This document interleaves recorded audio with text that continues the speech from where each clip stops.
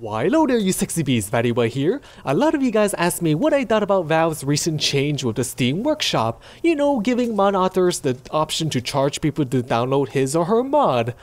And I'm gonna let you guys know what I think about modding in general. I to buy games where there's a lot of modding or user-generated content available, like Half-Life 1, Half-Life 2, StarCraft, Diablo 2, and etc etc because I was a poor gamer. And I'm sure that there are plenty of poor gamers these days as well who did what I did before. Buying games that has the highest amount of modability and replayability. So I will always see mods as a free way to make the most out of a game, get the best bang out of your money, and to extend the game's life.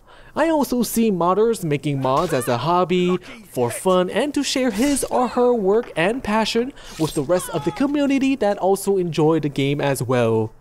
Now on paper, the changes to the Steam Workshop looks good. You support the modder and whatnot, but in reality it seems like a money grab from Valve and Bethesda, and from what I've heard, the modder only gets 25% of the earnings, 25%, and the other 75% goes to Bethesda and Valve. And the modders can't really cash out until they reach a minimum limit from their earnings. There is also an issue of mods containing resources from other mods and even reports of people stealing free mods elsewhere and selling it on the Steam Workshop. And from what I can see, this is just a giant screw up, a giant fuck up, and it's just a very, very awkward and horrible situation for the modding community. Not to mention that I am not going to be paying every time I want a new sexy armor or a weapon. So what do I think about the changes to the Steam shop? Well, we have Beth here, an NPC, a very well-off inhabitant of Tamriel, who is sitting on her throne, which happens to be a Valve. Oh man, what a coincidence. And she sits there and she begs for money, even though she is well-off. She has all those nice clothes, all that swagger, all that jewelry. So what should I do to express my feeling?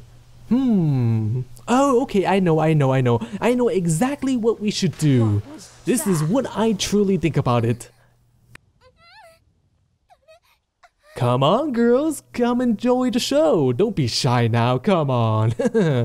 now, it's a very good thing that I don't really use the Steam shop anyways for 99.99% of my modding needs. So I hope that this change to the Steam Workshop doesn't affect the rest of the modding community. So yeah, I hope that the Tentacles was a straightforward way of expressing what I feel about the whole fiasco. Now, what do you 60 pieces think about Valve's change to the Steam Workshop? Let me know in the comment section below. If you share the same views as me, make sure to bang that like and subscribe button. Bang it good. Well then, stay sexy my friends, stay sexy.